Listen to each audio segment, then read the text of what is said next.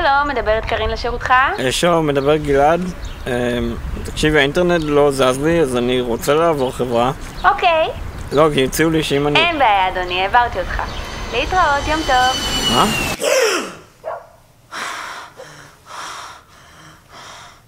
אני לא מאמין עוד פעם החלום הזה שאני עובר חברה. חיים שלי, הכל בסדר, זה נגמר. אנחנו דיברנו איתם היום ועברנו חברה. שכחת? מה? דיברנו? נכון, דיברנו. עבר, עברנו חברה.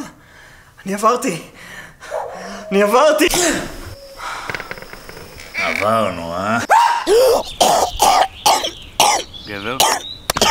אתה בסדר? לא, חלומות שאני עובר עם חברה, ו- עזוב, לא חשוב. וואלה. מה אתה מסתבך, אחי? יש לך אפליקציה לזה.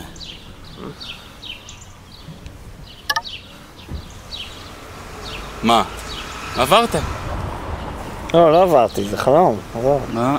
אחי, זה לא חלום, עברת. חלום, חלום. נו, ת- ת- תנס תראה.